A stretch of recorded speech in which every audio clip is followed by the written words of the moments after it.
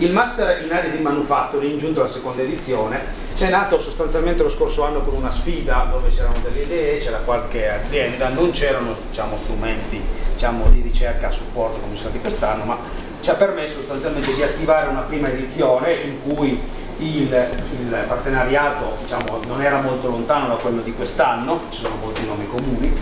e ci ha permesso di fare una certa esperienza per riproporre questa seconda edizione quando ci è, chiesto, è stato chiesto, indicato dalla Regione la disponibilità di un finanziamento corposo nell'ambito del, della fabbrica intelligente con un tema specifico dell'arte di manufatto di cui parlerà il dirigente della fabbrica Corinetti che si è concretizzato qua sotto nel logo del progetto Stampo che è sicuramente uno dei progetti che ha un ampio respiro, molto ambizioso, diciamo, sicuramente che impegna la maggior parte da tutte le aziende che sono diciamo, interessate anche al master e permetterà sostanzialmente di abbinare la parte di formazione con la parte di ricerca nell'ambito del stesso, sia del progetto che del master. Confermo che è l'unica iniziativa che abbiamo in Italia nell'ambito dell'alta formazione, un master di ingegneria in area di manufacturing di secondo livello, non vi sono altri esempi in Italia se non interventi spot di una giornata o due nell'ambito di altre organizzazioni e confermo che anche in Europa non sono a conoscenza, almeno io non sono a conoscenza di iniziative di questo tipo, ci si può confrontare anche sì, sì, quindi, di questo credo dovremmo essere noi ad attrarre i talenti. Diciamo, non ci conoscono ancora bene, speriamo di magari che diciamo, queste cose vengano diffuse e quindi possiamo avere anche dell'application non solo dai nostri giovani, ovviamente che frequentano il Politecnico di Torino, ma anche dall'esterno. Alcuni dati, ovviamente ricordo che il master è stato presentato in risposta al bando regionale per l'alto apprendistato che ormai è consolidato nella regione Piemonte da oltre 15 anni direi. La regione Piemonte ha trovato il finanziamento utilizzando il Fondo Sociale Europeo e questo ci fa probabilmente piacere perché sostanzialmente abbiamo un ente pubblico che crede nei nostri progetti, come Schilla, che sono ormai sono più di 10 anni che attiviamo questi percorsi e sicuramente è una, diciamo, un, un aiuto importante che viene dato a supporto di queste iniziative.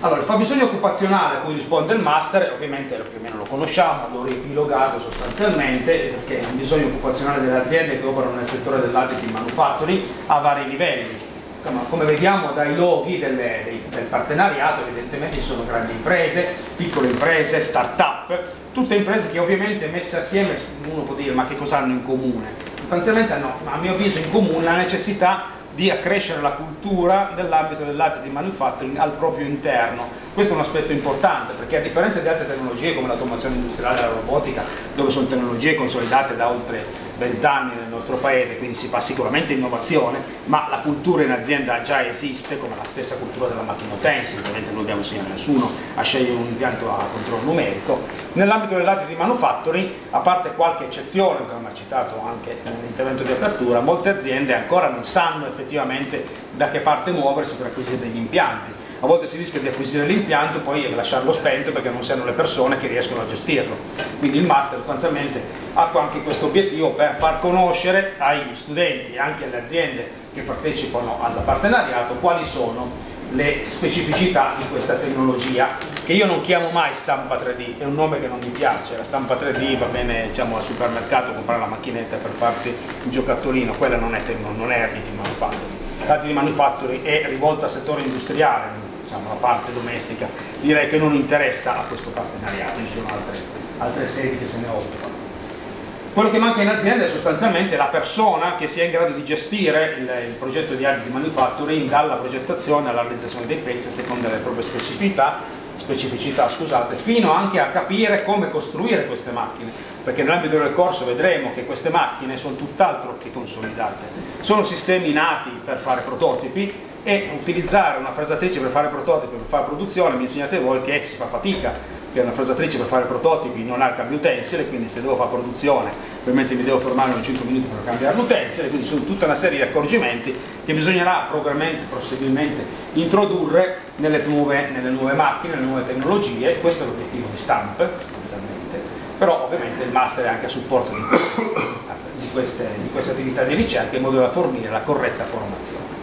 Questi sono i profili sostanzialmente che si possono individuare a seconda dell'impresa diciamo, che partecipa al partenariato, la tecnica leader, il project manager, l'industrial operation leader, il progettista meccanico, il design for additive manufacturing, il progettista software, l'aspetto relativo ai ricambi, ci sono certe, certe, molte aziende che hanno una serie di problematiche legate al magazzino, ai ricambi, a doverli tenere per molti anni, un conto tenere un file, un conto tenere un pezzo, questo parliamo in termini di costi, di benefici, di spazi. Quindi l'obiettivo formativo, come è stato sottolineato, è stato definito in stretta collaborazione con il partenariato,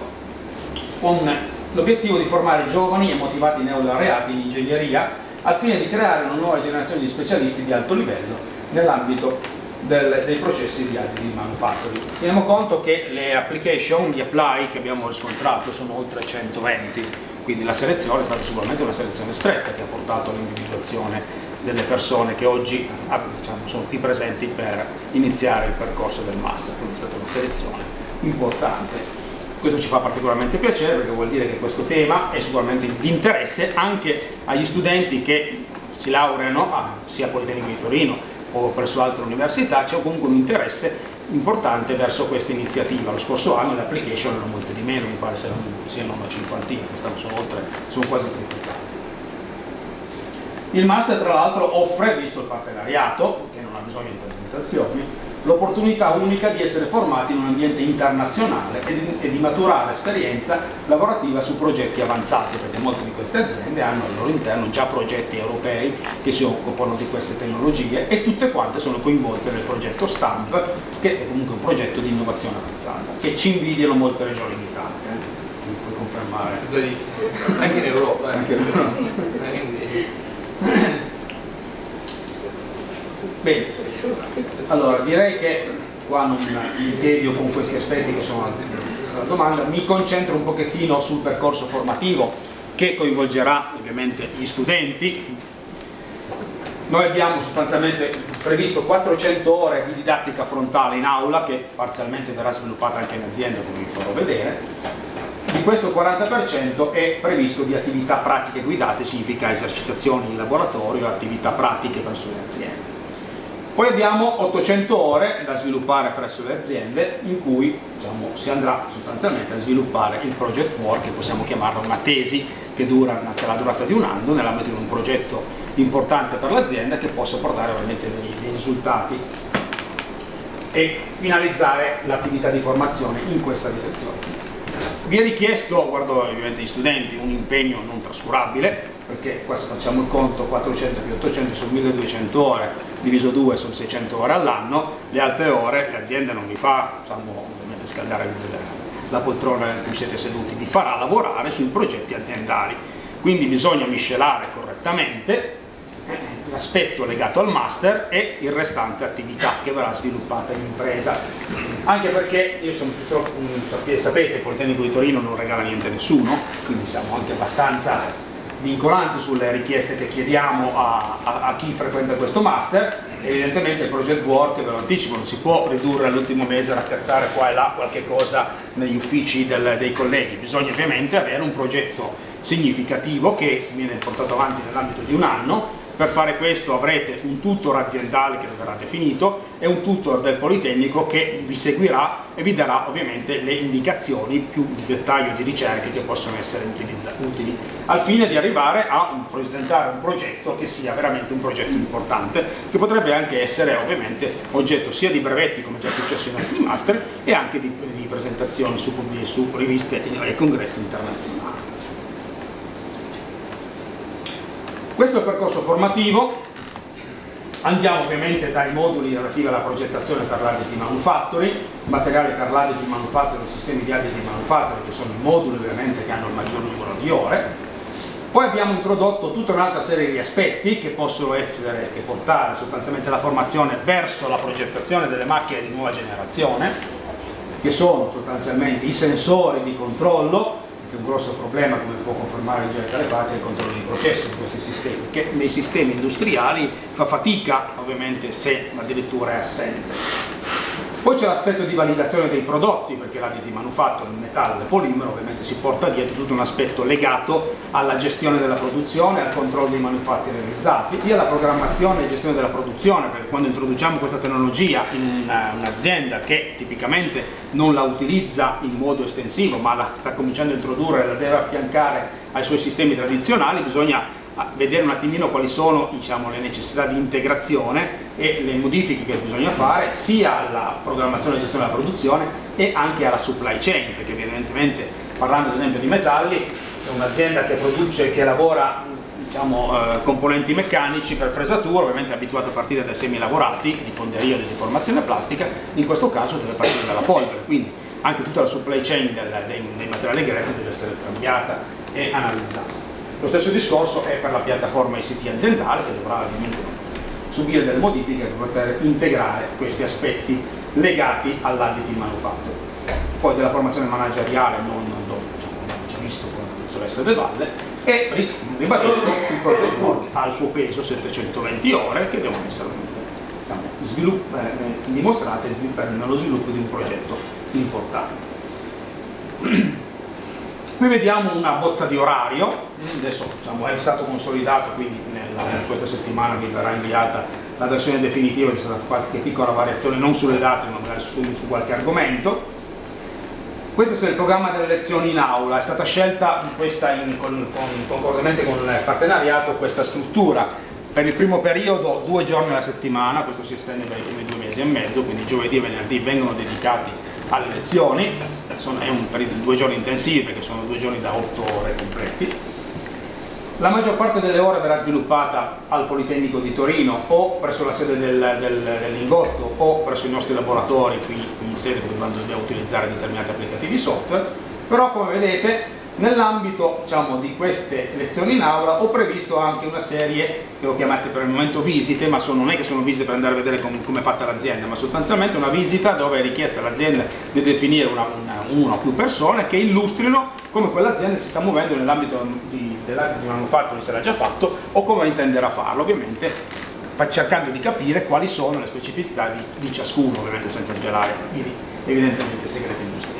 Il partenariato è sicuramente più ricco rispetto allo scorso anno, quindi avremo ovviamente la possibilità, gli studenti avranno la possibilità di passare una giornata in tutte queste aziende in modo da poter avere anche un panorama complessivo diciamo, di qual è la struttura e poter fare una sintesi delle specificità di questo percorso. Questo lo reputo sicuramente un arricchimento della,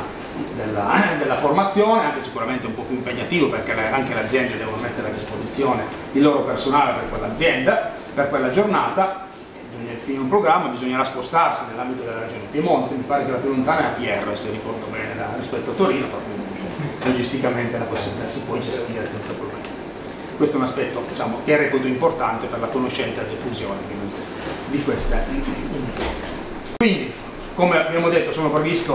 attività di tipo teorico attraverso le lezioni frontali,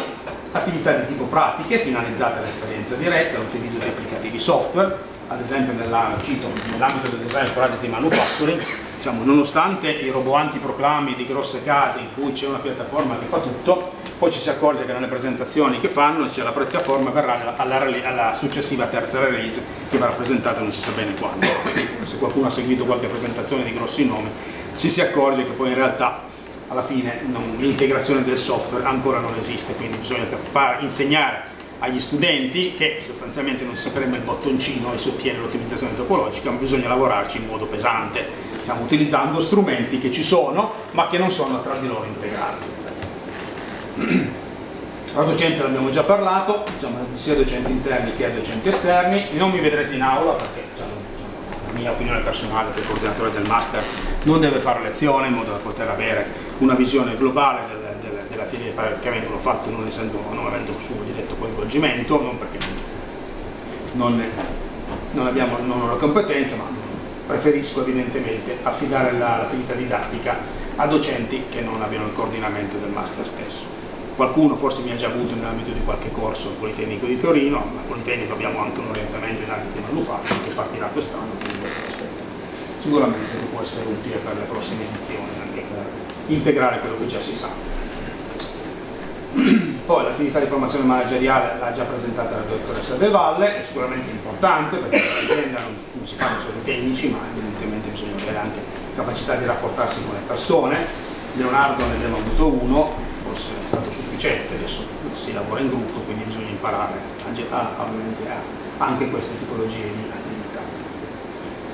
attività. Allora, il percorso formativo in impresa serve a completare l'apprendimento che viene fatto durante le lezioni e poi ovviamente c'è il coinvolgimento diretto dell'apprendista nelle attività operative dell'impresa per le ore che ne sono coperte dal master e avete la fortuna sostanzialmente di avere il progetto stampo, quindi andrete a lavorare sostanzialmente sull'attività di ricerca previste nell'ambito di questo progetto e poi ovviamente c'è la preparazione del project work che sarà seguito congiuntamente da un tutor aziendale e da un tutor accademico, dando proprio i vincoli che ci sono ovviamente poi sia per l'assemblaggio che i vincoli meccanici